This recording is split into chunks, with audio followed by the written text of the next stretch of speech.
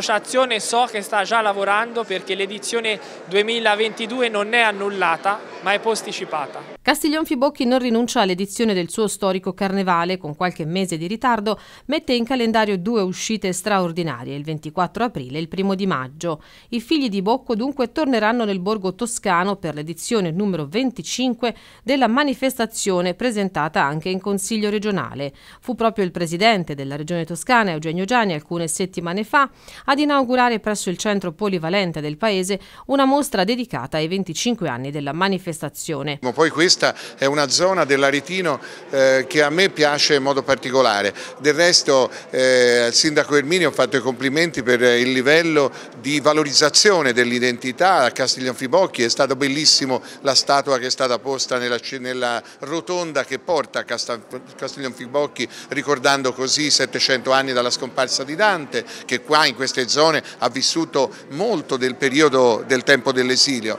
ma contemporaneamente Castiglion Fibocchi ha questa bellissima occasione del carnevale e quindi anche una vita sociale molto forte, questo centro, eh, questo auditorium può aiutare proprio questa vita sociale che porta Castiglionfibocchi ad essere una bella comunità di cui io più volte ho avuto modo di rendermene conto. 300 le bellissime maschere che potranno anche essere immortalate in foto a colori o in bianco e nero dagli appassionati di fotografia che potranno partecipare ad un concorso fotografico, una iniziativa realizzata in collaborazione con Fotoclub La Chimera, Fotoottica Franchini e Arezzo TV.